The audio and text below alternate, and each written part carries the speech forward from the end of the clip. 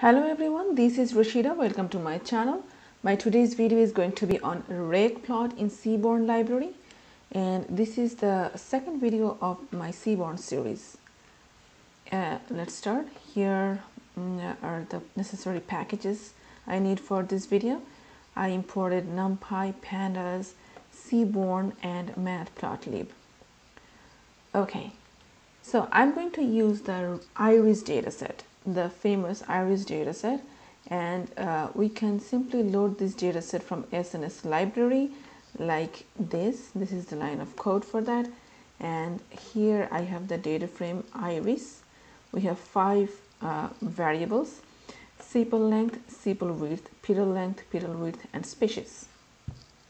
Okay, let's start our most basic reg plot first figure uh, figsize 8 6 now sns dot regplot now look sns i imported seaborn as sns so that's what sns is. In x direction i want sepal length. Okay. In y direction i want sepal width and then data data is iris. Okay plt dot show. This is the uh, array plot. So this is very simple scatter plot. And sepal length and sepal width both are continuous variables and this is very simple scatter plot. We just have a regression line here. Regression line, the best fit regression line for all these dots. And you can see this uh, shaded area that is the confidence band. Okay, each point of this line has the confidence interval. All right, and by default, the confidence level is 95%. But if you want, you can change it. Let's see how we can do it. So as I said that by default, the confidence level is 95% let's check. Okay. Look the if you look at it the confidence band looks exactly the same right? And if you change the confidence level like by if you want uh, 75% look it got narrower. Isn't it? It's a lot narrower. Now if you check with 90% it gets uh, wider again but less than this one. Okay? Well do we have to use only continuous variables for regplot no. We can actually use categorical variable as well. In our data set the only categorical variable is species. And you can see all the values of the species column are strings. We have to change these strings to numeric value, values first to use it in the visualization. Okay, iris uh, species dot unique. Okay, so we have these three unique values in iris uh, species column, Setosa, versicolor, and virginica. So how I'm going to change them and convert them to numeric variable? So I will keep the original uh, species column as it is and I'm going to make a new column named species 1 and in species 1 I will going I will replace this species column and Setosa will be replaced by 1 versicolor will be replaced by 2 and Virginica. Oh, Virginica will be replaced by 3 look at our iris dataset now. Here we have the newly formed species 1 column where the values are 1 2 and 3 2 doesn't show. It's probably in the middle somewhere. Okay. Now I'll just copy from here copy and paste. Okay in x direction now I will use this uh, categorical column species 1 and instead of sepal length in y direction sorry instead of sepal width I will use sepal length. Okay let's see.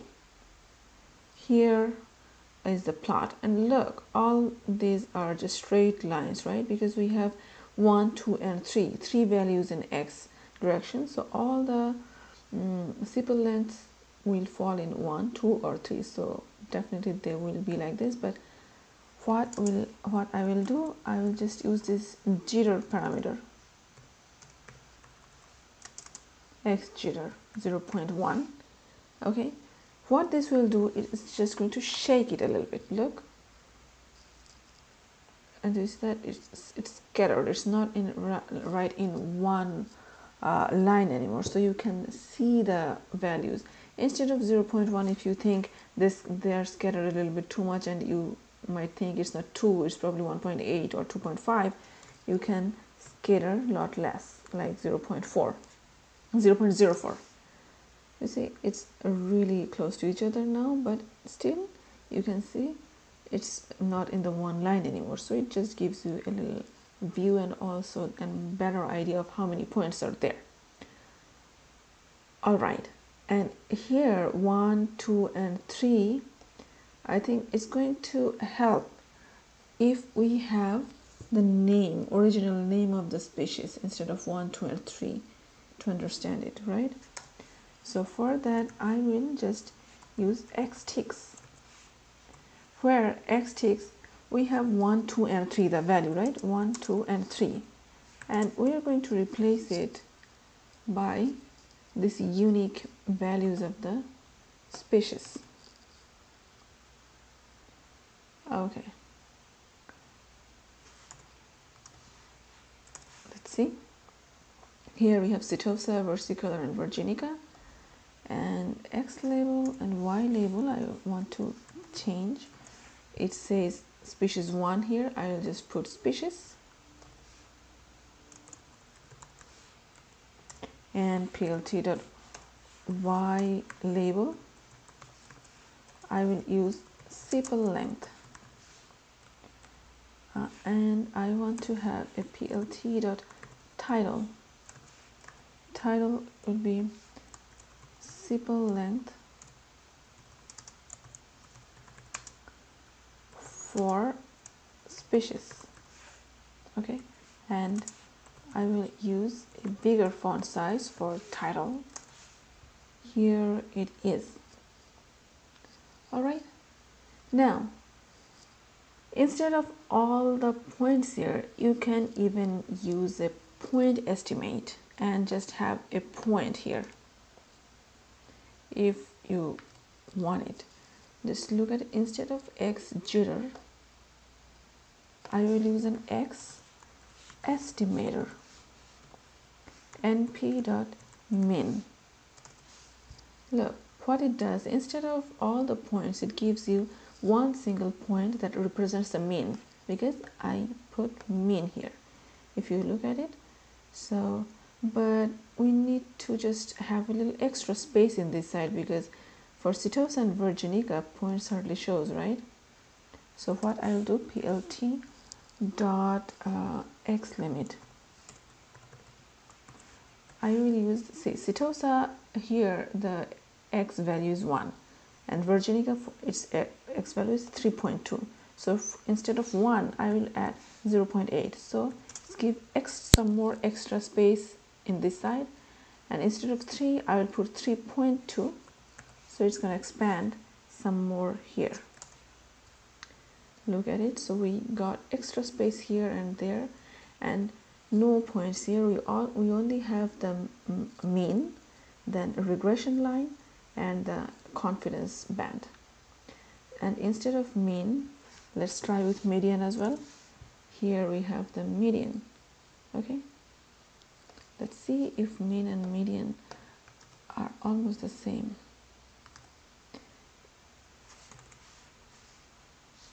okay. Look 6.75 uh, yeah 6.5 in between 6.5 and 6.75 it's a little less it's uh, it's close to 6.5 a little bit different a little bit different 6 a little above 6 and a little below 6 uh, in the versicolor mean and median. Okay? So whatever is suitable for your project okay this is what I wanted to show you today the reg plot in Seaborn library uh, this is going to be a series of Seaborn library plots I am going to come back with a lot more in future. Please feel free to like, comment, share and subscribe. Thanks a lot for watching.